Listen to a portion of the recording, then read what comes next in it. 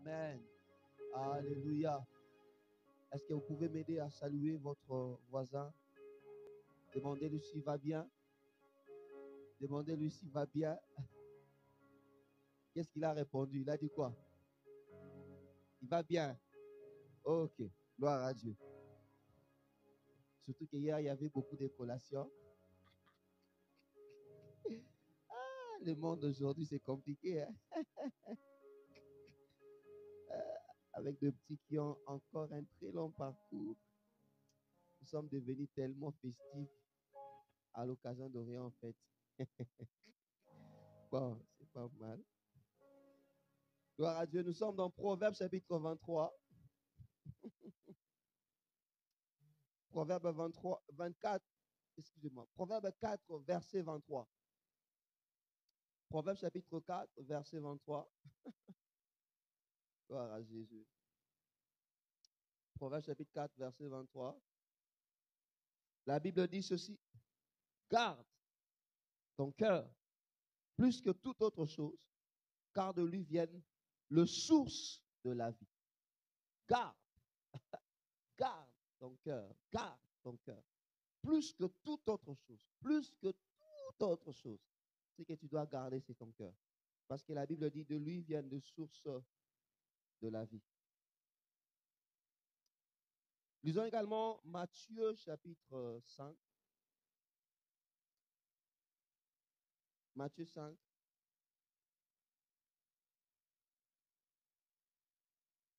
Le verset 8. La Bible dit ceci. Heureux ceux qui ont le cœur pur, car ils verront Dieu. Heureux ceux qui ont le cœur pur, car ils verront Dieu. Ça fait plusieurs dimanches que nous étions en train de parler d'être conduits par l'Esprit. Et dans le fait de se laisser conduire par l'Esprit, nous avons abordé cet élément important de nos pensées. Nous avons dit que c'était nécessaire pour nous de veiller sur nos pensées parce que nos pensées sont de champs de bataille qui parfois déterminent notre victoire ou qui déterminent notre défaite.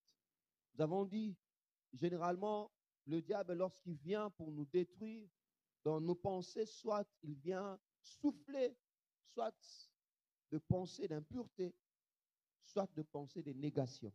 Soit on voit tout est mal, soit on se décourage, ou soit ce sont vraiment des pensées sales, des pensées impures.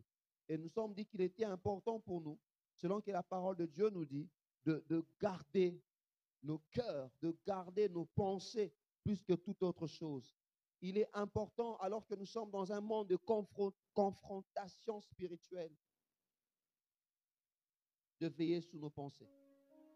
Le pensée, nos pensées sont un peu comme, euh, comme de l'eau. Un homme a dit que le pensée, c'est un peu comme de l'eau. L'eau prend la forme et la couleur du récipient. Lorsque vos pensées sont nourries de bonnes choses, vous aurez facilement de bonnes pensées et de pensées positives et de pensées pures. Mais lorsque souvent vous vous nourrissez de mauvaises choses, rassurez-vous, vous aurez aussi de mauvaises pensées. Et vous allez certainement vous rappeler que de temps en temps, les dimanches passés, j'étais en train de parler des pensées de nos cœurs. Alors quelqu'un s'est dit, mais pasteur, souvent dans le cœur, il y a les émotions, il y a les sentiments. Mais qu'est-ce que les pensées viennent faire dans le cœur? Rappelons-nous de ce que je nous ai dit au, au début de cette prédication sur être conduit par l'Esprit que nous avons deux écoles. L'école de grec. Chez les Grecs, l'homme, le siège de tout, c'est le cerveau. C'est le cerveau. On parle du cerveau, on parle de notre mentalité, de notre mental, de notre réflexion. Ce n'est pas contraire à la pensée juive, mais simplement, le juif ne différencie pas le, le, le c'est-à-dire, dans le monde juif, quand on parle du cœur, on veut faire allusion au siège de tout ce qui est spirituel, c'est-à-dire au siège de l'intellect, au siège de l'émotion, au siège de la volonté. Lorsqu'on parle du cœur selon la pensée juive, on parle de l'homme intérieur, du toit, le toit intérieur. On, ne fait vraiment pas de différence entre le cœur, l'âme, l'esprit. Ce sont pratiquement la même chose, la même réalité. Cela renvoie à l'autre, à l'être spirituel. Alors comprenez que de temps en temps, que je puisse parler des pensées de nos cœurs, c'est-à-dire le pensée de l'homme intérieur, de l'homme intérieur. Et aujourd'hui, nous voulons un peu faire une euh, relation entre la prédication de béatitude que nous avions abandonnée pendant un temps et le fait de se laisser conduire par l'Esprit. Notre thème sera Garde pur, garde ton cœur pur. C'est ça le thème que nous voulons partager aujourd'hui. On va prendre, si Dieu fait grâce, peut-être trois dimanches où on parlera de ça. Garde ton cœur pur. Salomon dit dans Proverbe, garde ton cœur plus que toute chose. Et dans Matthieu, dans le Béatitude, le Seigneur dit, heureux ceux qui ont le cœur pur, car ils verront Dieu. Heureux toute personne qui a un cœur pur, car il verra Dieu. La version parole vivante dit, heureux ceux qui sont sincères et droits, car ils verront Dieu. Tous nous voulons voir Dieu. Nous voulons voir Dieu au travers de, en apportant la solution à nos problèmes. Lorsque nous venons à l'église, nous prions, Seigneur, je veux te voir. Seigneur, fais quelque chose pour moi. Tous, nous voulons voir Dieu. Mais le Seigneur vient nous présenter l'une des conditions pour voir Dieu, c'est avoir un cœur pur. S'il te plaît, ne sois pas distrait sur moi, ne sois pas dans ton téléphone. Garde ton cœur pur.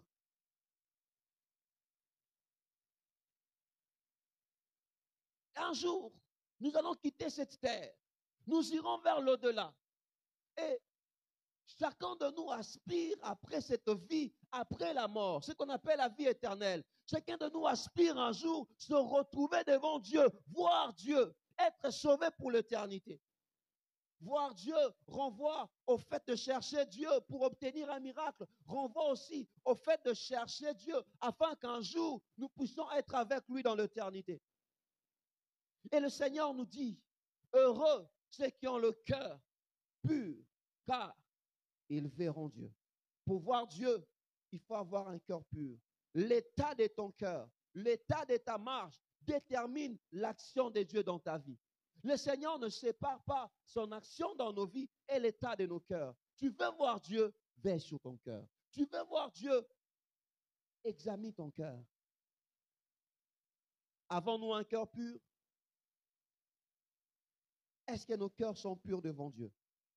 Avons-nous lavé nos robes, comme Apocalypse le dit, dans le sang de Jésus? Quel est l'état de nos cœurs? Quels sont l'état de nos cœurs? Quel est l'état de ton cœur? Comment ton cœur se présente? Est-ce que ton cœur a beaucoup d'impureté ou bien ton cœur est propre? Apocalypse chapitre 22, verset 14. Alors que Jean voyait la vision de saints au dernier temps, la Bible dit, heureux ceux qui lavent leurs robes afin d'avoir droit à l'arbre de vie et d'entrer par la porte de la vie. Hébreu chapitre 12, verset 14, la Bible dit, recherchez la paix avec tous et la sanctification sans laquelle personne ne verra le Seigneur. On ne peut pas voir Dieu avec un cœur qui n'est pas pur. On ne peut pas voir Dieu avec un cœur qui a beaucoup de saleté. On ne peut pas voir Dieu avec un cœur qui entraîne le péché. Quel est l'état de ton cœur? Quel est l'état de ta personne intérieure? Quels sont l'état de, de tes pensées? Comment tu penses? Comment tu réfléchis? Ton intérieur se présente comment? Heureux ceux qui ont le cœur pur, car ils verront le Seigneur. C'est quoi le cœur pur? Avoir un cœur pur, c'est lorsque l'homme se tourne vers Dieu en Jésus. C'est lorsqu'il soumet ses désirs, sa volonté, ses émotions, son intelligence à Jésus. Avoir le cœur pur, comme je l'ai dit, c'est lorsque l'homme se tourne en Jésus. Premièrement, c'est lorsqu'il soumet ses désirs, il soumet sa volonté, il soumet ses émotions, il soumet son intelligence, il soumet tout ce qu'il est à Jésus. Il se soumet, il accepte de suivre la parole de Dieu et de se détourner du péché, de se détourner des attraits du monde. Sans une robe blanche, sans la sanctification, il nous sera difficile de voir Dieu. Il nous sera difficile d'avoir un cœur pur. Et l'une des grandes questions que nous pouvons nous poser, comment faire pour avoir un cœur pur? Comment garder nos cœurs purs? Bien aimé, pour avoir le cœur pur, pour garder nos cœurs purs, généralement, le porte du cœur d'une manière générale, sont nos cinq sens. Généralement, le cinq sens, peut-être beaucoup d'autres choses aussi, sont ce qu'on appelle les portes du cœur. Les choses qui entrent dans ton cœur, qui entrent en toi, passent généralement par ce que tu vois, passent généralement par ce que tu écoutes, passent généralement par ce que tu sens, passent parfois aussi, même parfois par ce que tu manges. On peut même pécher par le repas. La Bible nous parle de l'excès des tables. On peut pécher même en, mangeant, en faisant l'excès des tables. Le porte de cœur sont souvent nos, ce qu'on appelle le cinq sens, sont nos sens. Et aujourd'hui, on va se limiter, parler d'un élément important en disant, gardons nos cœurs, le premier point pour aujourd'hui, le premier grand point que nous partagerons aujourd'hui. Gardons nos cœurs en veillant sur ce que nous regardons. Quelqu'un va me dire, pasteur, vous avez essayé un peu de fleurer ça les dimanches passés. Mais pourquoi vous voulez revenir encore là-dessus? Bien aimé, il n'y y a rien de ce que Dieu veut dans ta vie que la sainteté. Dieu a besoin que tu aies un cœur pur. Beaucoup d'entre nous, nous attendons à recevoir des choses de la part de Dieu. Ça bloque simplement parce que nous sommes sales à l'intérieur. Qui est ces parents-là qui pour accepter de donner un cadeau à un enfant, mais un enfant qui n'est pas bien, qui n'est pas propre, qui est sale? Parfois même avant de donner un biscuit, on dit, va d'abord laver tes mains. Comment à cette heure, tu n'as pas encore mangé? Pardon, tu ne t'es pas encore lavé. Va d'abord te laver. Avant que tu manges, tu vas d'abord te laver. N'est-ce pas que nous le faisons? Alléluia. N'est-ce pas que nous le faisons? Et le Seigneur veut dire à quelqu'un, avant de manger, lave-toi d'abord. Avant que tu puisses obtenir ce que tu veux obtenir, lave-toi d'abord. Regarde le cœur, le temps de ton cœur. Quel est l'état de ton cœur? Comment se présente ton cœur? Quel est l'état de tes pensées, de ton cœur? Ton homme intérieur se présente comment? Et nous allons voir, euh, faire un peu l'autopsie, bien une petite recherche par rapport à trois personnages bibliques. Trois personnages bibliques qui ont beaucoup de similitudes. Par exemple, et Kokani. Et ces gens tous sont tombés au travers de ce qu'ils ont vu, au travers de ce qu'ils ont regardé, au travers de ce qui est entré d'abord par leurs yeux. Quel est l'état de ton cœur? Garde ton cœur en veillant sur ce que tu regardes. J'aimerais encore insister pour dire à une personne, garde ton cœur en veillant sur ce que tu regardes. Ne laisse pas n'importe quoi devant tes yeux. Ne laisse pas n'importe quoi devant toi. Garde ton cœur en veillant sur ce que tu regardes. La première personne, c'est Ève. Voyons dans Genèse chapitre 3. Genèse chapitre 3. Le verset 6 nous parle de Ève. Genèse 3, 6. Lorsque Ève était tentée, la Bible dit la femme vit que l'arbre était bon à manger et agréable à la vue et qu'il était précieux à ouvrir les yeux. Lorsque le diable vient tenter Ève, il commence à lui parler. Est-ce que Dieu a-t-il réellement dit Ève échange avec le diable? Elle essaie de répondre. Mais après un certain moment, elle a regardé ce fruit elle a regardé le fruit de la connaissance du bien et du mal. Elle s'est rendue compte que ces fruits étaient beaux, que ces fruits étaient précieux. Frères et sœurs, par rapport à cette histoire, j'aimerais partager avec nous la première vérité. Fais attention quand l'interdit devient beau. Fais attention lorsque l'interdit devient beau. Si tu veux veiller sur ton cœur, Veillez sur ce que tu regardes. Apprends à, Je prie que Dieu te réveille quand ce qui était interdit commence à devenir précieux à tes yeux. Quand tu commences à donner de la valeur aux choses qui étaient interdites. Ève, n'est-ce pas que Dieu avait dit, vous ne toucherez pas à l'arbre de la connaissance du bien et du mal. N'est-ce pas que Dieu avait dit, vous mangerez tous les autres fruits, mais au fruit de cet arbre-là, vous n'allez pas toucher. Qu'est-ce qui a fait que Ève puisse toucher Parmi lesquels les choses, le fait qu'elle a prêté son oreille au diable? Et deuxièmement, un autre élément important, Ève a vu, a vu que cela était beau. Bien aimé, ce n'est pas parce que quelque chose est beau que tu dois prendre ça. Généralement, l'homme par nature aime prendre ce qui est beau. Et la sika. Ah namonaki oyo motu moko alataki. Nga mpe mpo nasalisa yango. Modele asika ah namonaki mama moko atongisaki nga mpe mpo natongisa yango. Ah jeune fille aza kitoko. Akoma aza kitoko fo nazwa yango. Bien aimé si c'est quelque chose qui est fait avec une motivation pure c'est pas un problème. Mais lorsque tu sais que c'est une interdiction que Dieu te l'avait interdit lorsque tu sais que c'est un péché Bien-aimé, lorsque le péché devient beau, la mort est à côté. Quand ce qui était interdit, et le bando olinga kosala te, okoma mona ngo komi bien, osala ngo, yeba, pembeni. C'est ce que Ève veut nous enseigner. Ève nous montre au travers de l'autopsie de sa chute que nous devons faire attention à ce qui est interdit mais qui devient beau. Parce que parfois, Derrière l'interdit qui paraît beau se cache la mort. Derrière cette belle fille avec de belles formes, père, papa, se cache l'adultère qui va introduire la mort dans ta famille, qui va introduire la mort dans ta propre vie. Mon frère, derrière cette jeune fille que tu vois très belle, se cache aussi la mort. Quelqu'un va peut-être me dire, pasteur, est-ce que c'est mal d'apprécier quelque chose qui est joli, qui est beau? C'est pas mal. Dieu n'est pas un Dieu de la laideur. Bon, il est le Dieu de tout. Dieu ne demande pas, Dieu est le Dieu de tout.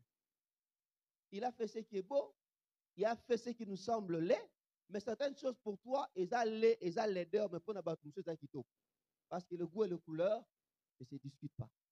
Quelque chose, toi, tu peux voir, ah, ça c'est vraiment laid. Mais pour nous, ils ont vraiment canon. Ils ont kitoko.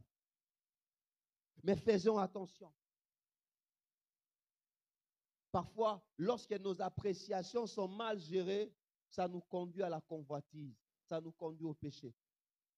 Tout ce qui est beau ne nous appartient pas. Une autre chose par rapport à ce que Ève veut nous apprendre, tout ce qui est beau ne nous appartient pas forcément. L'homme a tendance à s'accaparer de tout ce qui est beau. L'homme a tendance à prendre tout ce qui est beau, à prendre tout ce qui semble précieux, ce qui est bien là, ce qui apparaît bien. Nous aimons le prendre. Frères et sœurs, tout ce qui est beau ne nous appartient pas. On retrouve la même chose avec David pendant qu'il s'est baigné. La Bible dit, il vit une femme belle qui s'est baignée. Et il est allé demander, ah, de qui appartient cette femme? On lui a même dit, c'est la femme de Uri. Il a dit, Azamwa siaba, simba yete. Frère et sœurs, tout ce qui est beau ne t'appartient pas. C'est pas parce que c'est beau que toi tu dois prendre ça. C'est pas parce que toi c'est beau que toi tu dois forcément toucher à ça.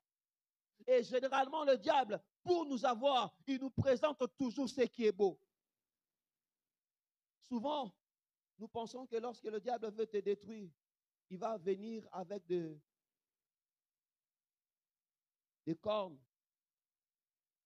avec une queue. Non, non. Il viendra avec une beauté pour t'attirer. Il va venir peut-être avec un beau français. Il va venir avec une belle taille. Il va venir avec une bonne proposition, une proposition alléchante qui va te faire baver. Tu vas dire, ah non, c'est la bénédiction de Dieu. fais attention devant tout ce qui est beau. Tout ce qui est beau ne vient pas forcément de Dieu. La Bible dit, ne, savez-vous pas que le diable s'échange en ange de, de lumière? Les diables se changent en anges de lumière. Souvent, l'homme aime s'accaparer à ce qui est beau, mais tout ce qui est beau n'est pas forcément à nous. Je ne nous encourage pas à être médiocre. Ce n'est pas parce que je veux nous dire à être médiocre, non. On peut voir quelque chose qui est beau, mais lorsque cela ne nous appartient pas, nous n'avons pas le droit d'y toucher. Nous n'avons pas le droit d'y toucher. Fais attention quand le péché devient attirant. Faisons attention lorsqu'on se rend compte qu'on on commence à être attiré par le péché. Souvent, lorsque le péché devient attirant, la porte à côté, c'est la porte de la chute. C'est la porte de la chute.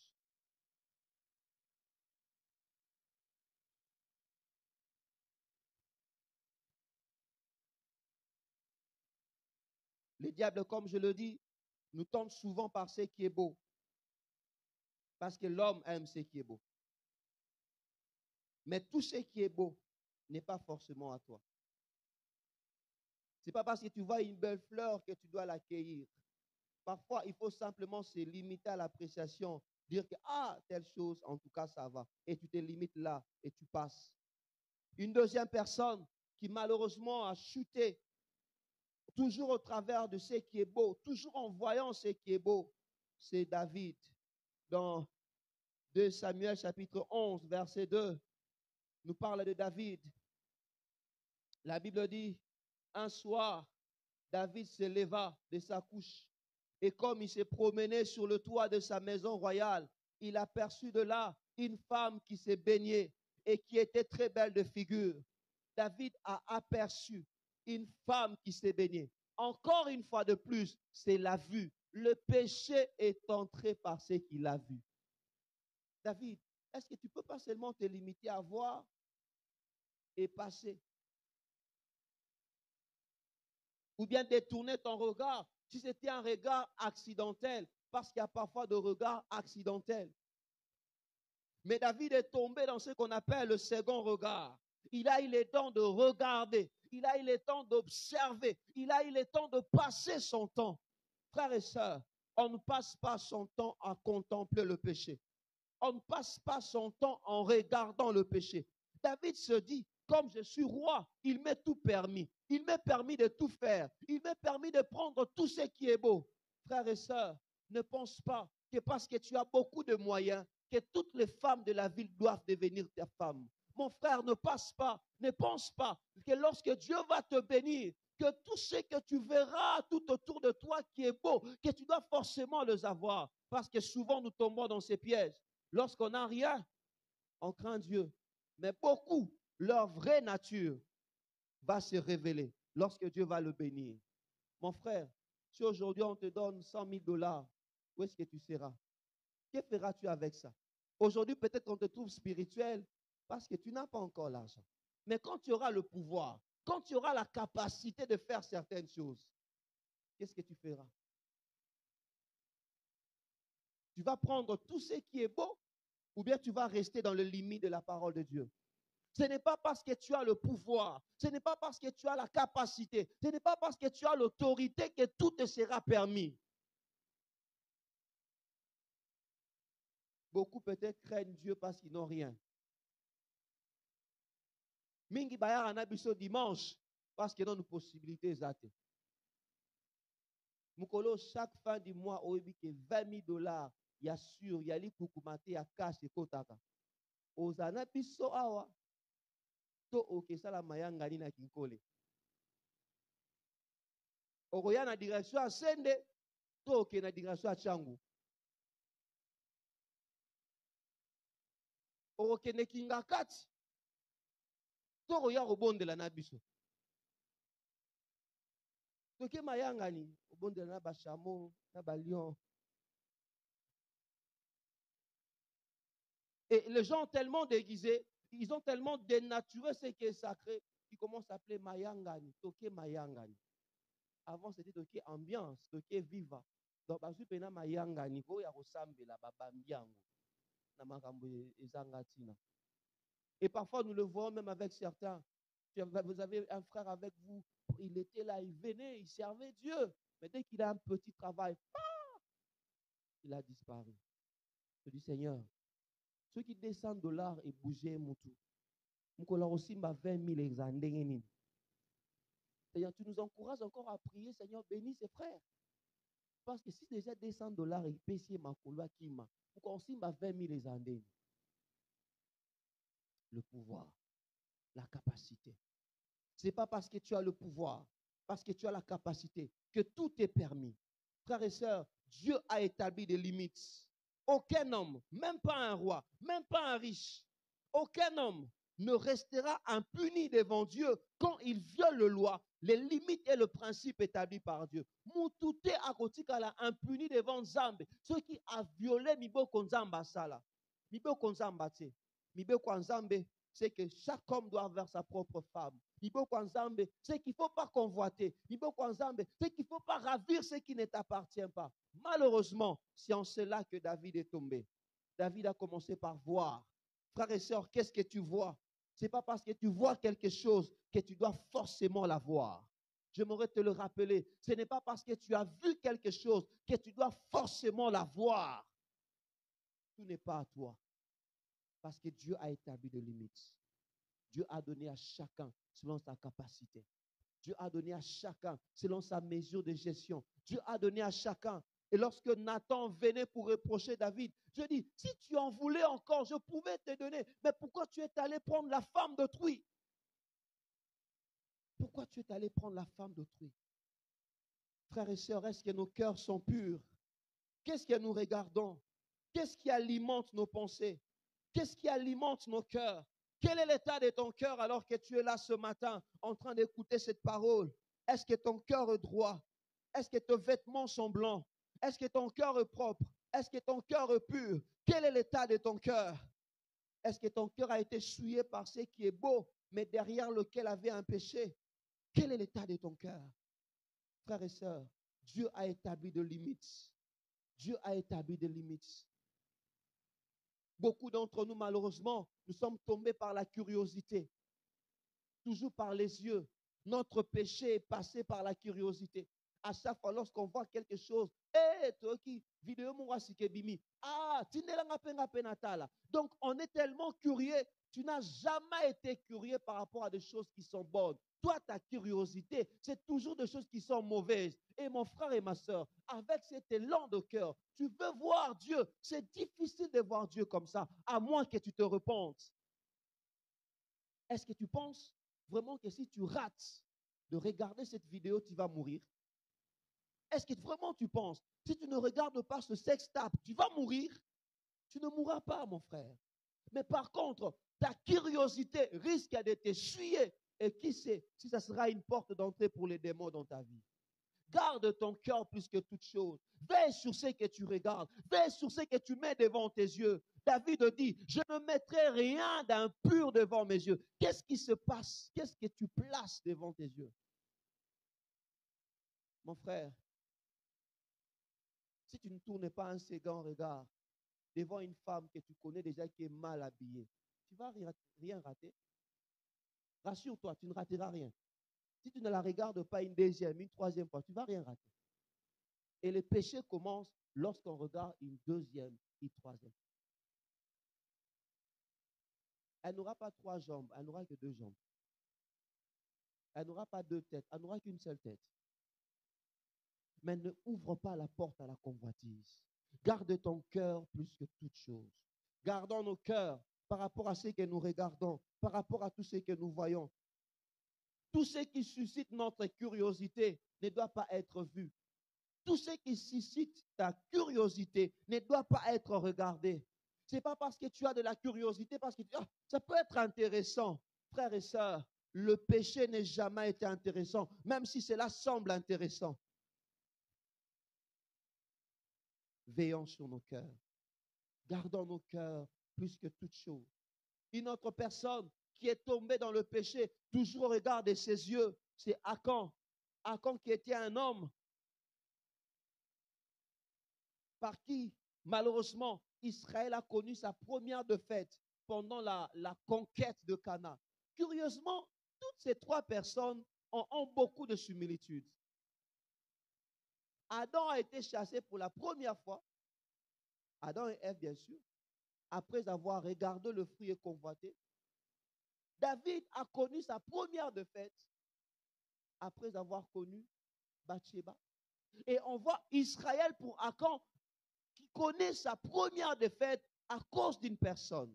Une personne qui a regardé et qui a vu, qui a vu que ce qu'il a regardé était bon, était beau, était agréable. Josué chapitre 7 verset 1 On va lire cela. Josué 7, 1 et Josué 20. Josué 7, 20, 21.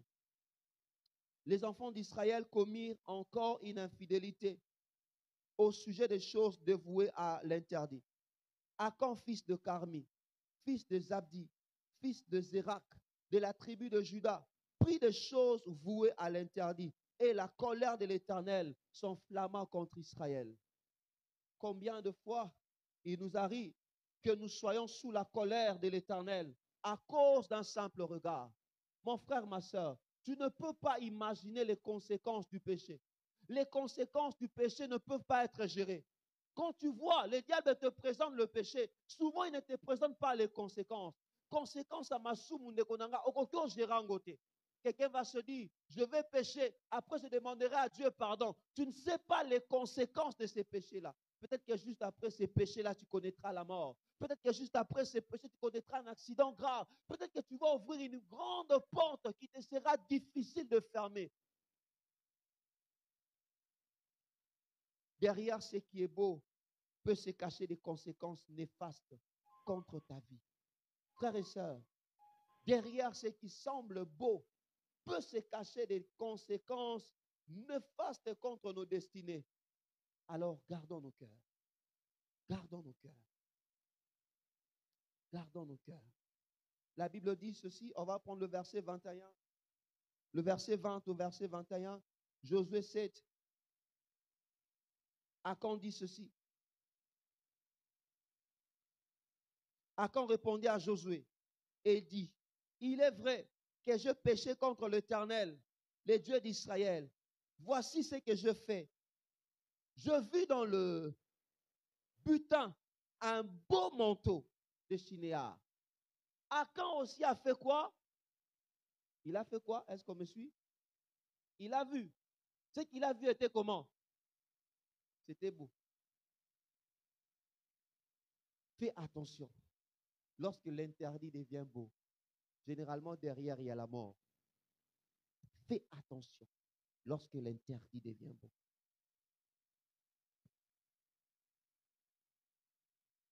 La Bible dit, je vis dans le butin un beau maton de chinéa, 200 cycles d'argent et un lingot d'or du poids de 50 cycles. Je les ai. Est-ce que quelqu'un suit dans sa Bible? Je les ai. Est-ce qu'on peut suivre dans nos Bibles? Je les ai quoi? Je les ai convoités. Et après la convoitise, je les ai pris. Et ils sont cachés dans la terre, au milieu de ma tente, et l'argent est dessus. Et frères et sœurs, vous remarquerez qu'avec Akan, il savait qu'il a péché. Mais qu'est-ce qu'il fait? Il garde.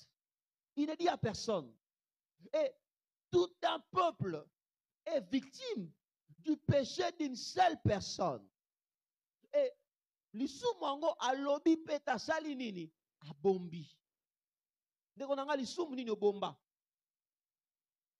Nzambe vi na ngai ezoevolue te mpo na nini nzambe béchec sur échec mpo na maladi boye mpo na makabu boye mpo na nini oui c'est bien. Otuna nzambe biso mpe tongi totuna lisumu nini obomba Parfois, les gens qui, qui, ont commis certains péchés attendent vraiment que le Saint-Esprit le coince jusqu'à la fin. Ah, à quand? Quel cœur dur! Pourquoi tu n'es-tu pas directement venu vers Josué pour lui dire, Josué, tu sais, au moins il est aussi à cause de moi alors que tu avais, Dieu a dit qu'on devait toucher à rien. Moi, j'ai quand même pris quelque chose. Donc, ceux qui ont échoué, c'est nanga. Mais généralement, ce que nous faisons quand nous péchons, nous gardons. Et ça devient une porte pour le diable. Frères et sœurs, la Bible dit que ton péché t'atteindra. Il ne faut jamais couvrir son péché. Il ne faut jamais cacher son péché. Il ne faut jamais cacher son péché. La Bible dit, c'est lui qui avoue son péché et celui qui le délaisse, Proverbe chapitre 28, celui qui avoue, celui qui le délaisse. Obtient miséricorde, mais celui qui le cache. Ne prospère point. Qu'est-ce que tu caches comme péché? À quand tu nous laisses échouer? À quand tu nous laisses perdre? À quand tu laisses des gens mourir? Mais toi, tu as le péché et tu sais que c'est un péché. Tu n'as rien dit à personne. Tu n'as même pas avoué. Et c'est exactement ce qu'a fait Ève et Adam. Ils ont attendu que Dieu vienne leur demander, Adam et Ève, où êtes-vous? Exactement ce que David a fait.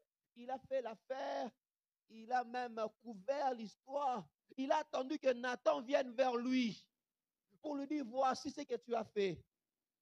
Frères et sœurs, le péché ne doit pas être caché, mais le péché doit être avoué. Quand tu caches le péché, tu ne prospères pas. Cacher le péché va te compliquer. Ça, deviendra un obstacle contre ta vie. Qu'est-ce que le diable fera? De temps en temps, il viendra te le rappeler. Il viendra te le rappeler. Il viendra faire monter dans ton cœur la culpabilité. Et tu vas te rendre compte que ta vie spirituelle ne va pas évoluer. Monde, eh, moi, je semble le senti pena, molimo molimo pa makanisi wana ye. Choix au kiti, qui m'a monzo to malili. Où semble mort. Le diable atteint son objectif. Parce qu'il aime le noir. Il aime le secret. Il aime quand on entretient un péché. À quand? Il a pris et il a caché. Il a pris. Il n'a rien dit à personne. C'est un peu ce que nous faisons c'est ce que nous avons toujours fait quand on était petit, lorsqu'on péchait. Tu vas, tu vas voler le lait. Quand tu finis, tu essuies la bouche. Mais curieusement, le parent, je ne sais pas par quelle magie, détecte toujours qu'on vient de voler le lait. Frère et sœurs, le péché n'est jamais caché. Le péché a une odeur. Les gens vont toujours remarquer que quelque chose ne va pas dans ta vie.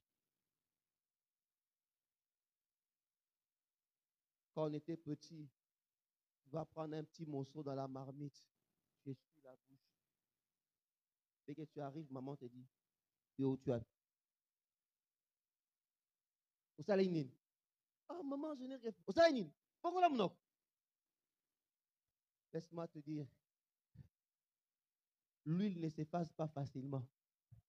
Il y a toujours quelque chose qui reste.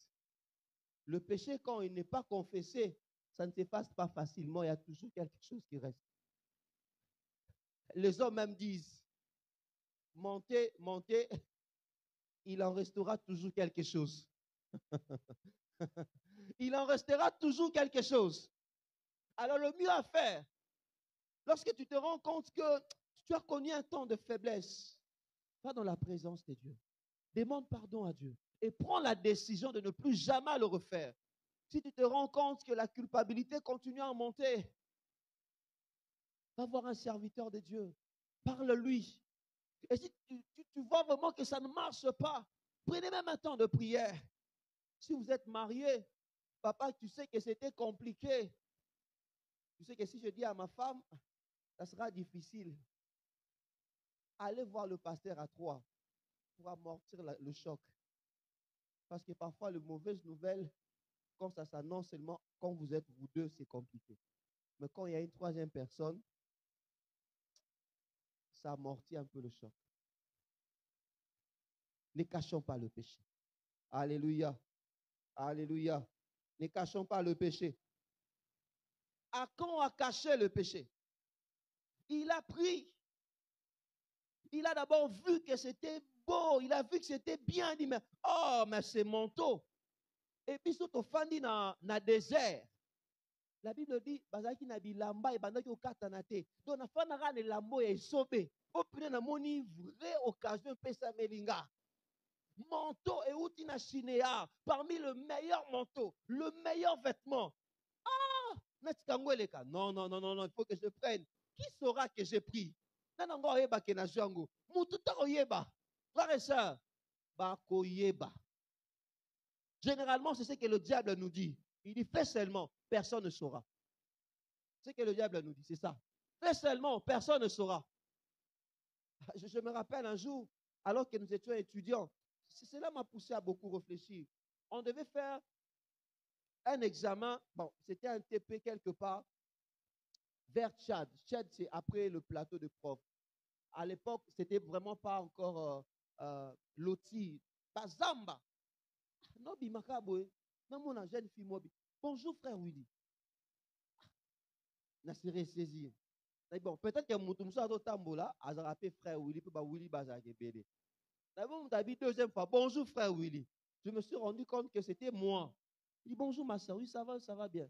Elle s'est présentée ah moi je suis le, cousin de tel. Souvent je viens ba vacances nanga pa na bango na monga fula. Et c'est là que je vous vois à l'église. Frère, tu vas te dire que personne ne t'a vu. Il y aura toujours quelqu'un qui va te voir. Je me suis dit, eh, Zambe, et bon, on se que beaucoup de camarades, après les TP, Bamasanga, ah, heureusement que je ne suis pas dans cette vie. Ah, Seigneur, merci. Ah, je vais vraiment veiller sur ma vie. C'est comme un homme de Dieu, un serviteur de Dieu un jour. Malheureusement, il avait un ministère vers le, centre-ville de l'autre côté, vers Et généralement, il avait l'habitude de faire ses déboires vers Kinkole. Alors, un endroit vraiment reculé. Et un jour, quand il entre, comme il avait l'habitude, à commander, prima. Bonjour, pasteur. Le pasteur dit, dans le temps à réaliser que ça y est, pasteur. A réalisé que et là que ça li bossé, ça il fallait pas mais là. À sa place, tu feras quoi? Heureusement que ça ne va pas t'arriver. Heureusement que toi, tu ne le feras pas. Alléluia. Je bénis Dieu parce que toi, tu ne seras pas comme ces pasteurs-là. Tu ne seras même pas comme cet homme-là. Alléluia. Ah. Frères et sœurs, je vais te le dire en lingala. Soupe. Et tu caleras toujours. Reste à miliki. Caleras toujours. Ça va avec le péché? Vous savez, quand on doit, tu dois prendre le thé, comme papa ou maman te sert le thé, tu prends le lait, tu ne comprends pas. Au mélimba moro, sans problème. Même quand on te donne un peu, un petit de lait de plaisir, là, tu le prends sans problème. Mais miliki koiba, quand tu prends aux huiles, ok, aux ongles ozwi ok ozongisa ozwi si suka suka bosala nini bakangi yo bakangi yo gardons nos cœurs plus que toute chose le péché laisse toujours des traces. Les hommes ont l'habitude de dire 99 jours pour le voleur un jour pour le propriétaire. Même si tu voles pendant 99 jours un jour on finira par t'attraper. Alors on va, avant qu'on te rattrape, ressaisis-toi. Arrête. Vous savez, Dieu nous aime tellement que alinga kopimisa ba ba salité na bisoté. Souvent on bâtit que la bisoté en vraiment se repentir. Je, le dis la, la semaine passée, le dimanche. Vous savez, si Dieu doit présenter devant tout le monde ce que nous sommes et ce que nous faisons, je vous dis, mouton linga biso monanate. Parce que Dieu connaît le vrai état de notre cœur. Zamba yebio bien ayebi yo ndongo ozala nga peut-être nayebi yo te alors nzambe asala nini? Abombona na bi bongola motema. Tika makambo ozosala. Bongola motema. Soki ebimi soni ekosalema. Bongola motema tika. Alors quand Dieu te parle il faut obéir. Mon pasteur a l'habitude de dire si tu n'entends pas Dieu dans le calme tu l'entendras dans le larme soki oyoka nzambe te ntango azoyebi so calmement okoyoke na mai na miso. Nzambe na ngai ekomi boye ndenge nini? Nayebaki te nini etindaki nga? Ah! Papa na nga. À chaque fois paster wili pateya kutu dimanche. Et le même jour osoloba oyebaki te nini etindaki yo?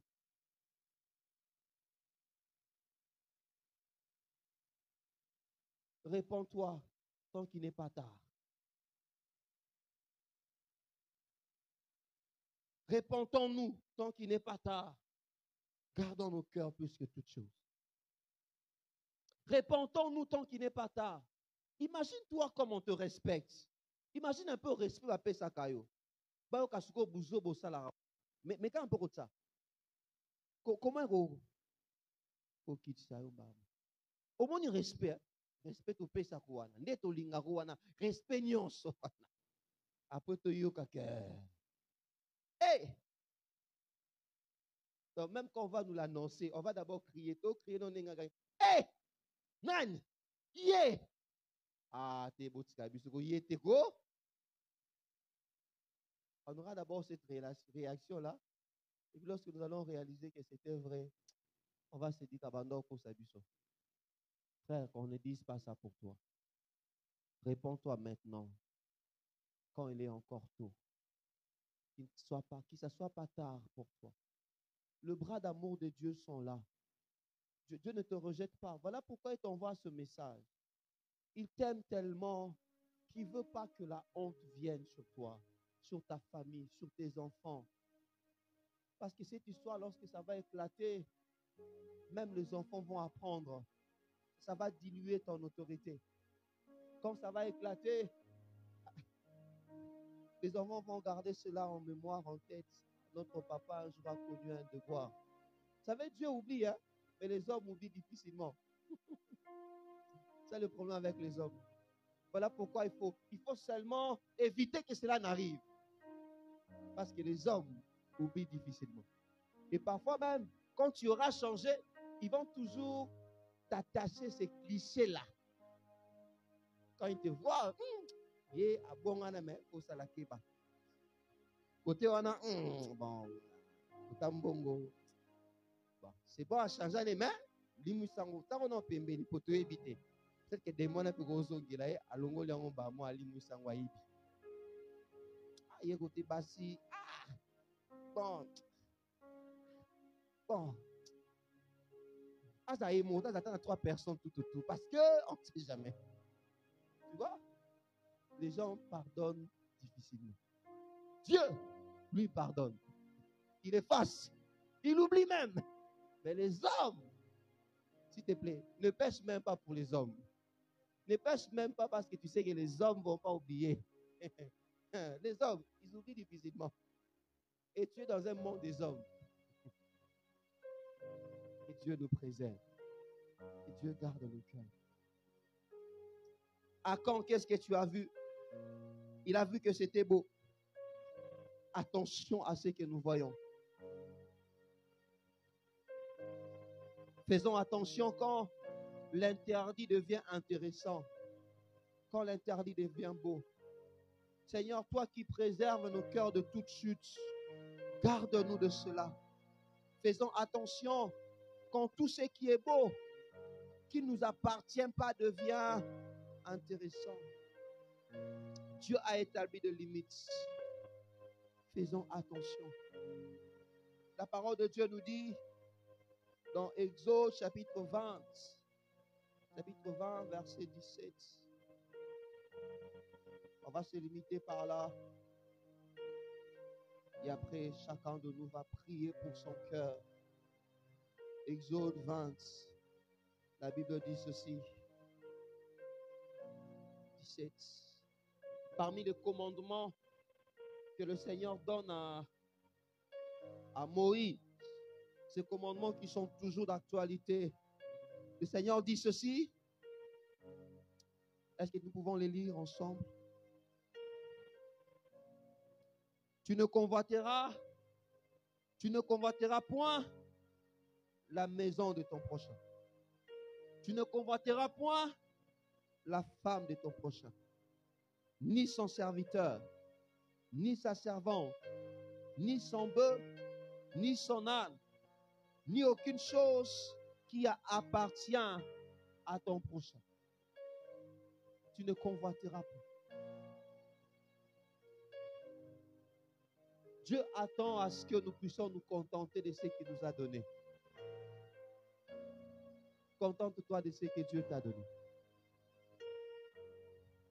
Heureux ceux qui ont le cœur pur, verront Dieu.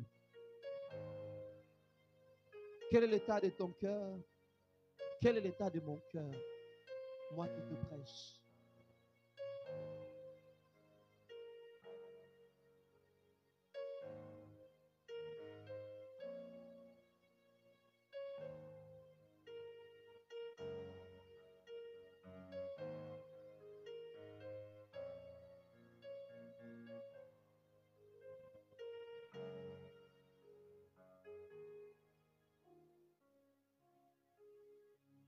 Quel est l'état de ton cœur?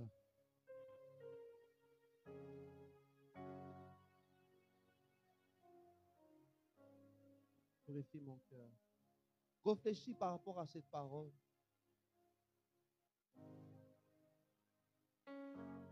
Purifie mon cœur.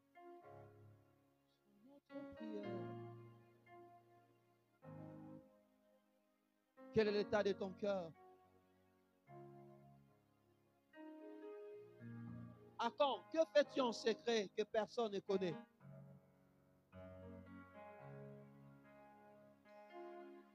Quand Que vois-tu? Qu'as-tu vu en secret que personne ne connaît? Que quelle personne ne maîtrise? Quel est l'état de ton cœur? Le Seigneur n'est pas là pour te condamner. Cette parole n'est pas sortie pour te condamner, mais pour te ramener à la vie. Pour ce précieux service, accorde nos sacrifices, sois notre prière, reçois notre prière. Montez Manu Zambengeni, tendre Père, pour ces précieux services, accorde nos sacrifices, par le sang de ton Fils Jésus, Père, oublie nos iniquités. Que le âme de Christ, Purifie mon cœur, purifie mon cœur, sanctifie nos vies, au sein d'Israël, au sein d'Israël. Parle à Dieu, parle à Dieu, parle à Dieu, parle à Dieu, parle à Dieu, parle à Dieu, parle à Dieu. Quel est l'état de ton cœur? Parle à Dieu, parle à Dieu. Te Zambengeni. prions. Qu'est-ce que tu caches? Parle à Dieu. Parle à Dieu. Personne n'est là pour te condamner. Personne n'est là pour te condamner.